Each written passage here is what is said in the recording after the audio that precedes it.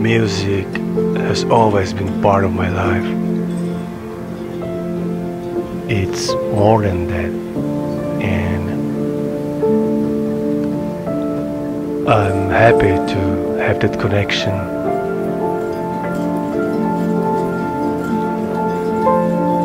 Mostly I use the piano. It's my favorite instrument. It helps me to survive.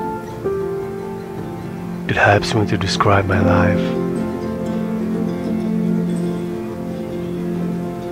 Music is everything to me.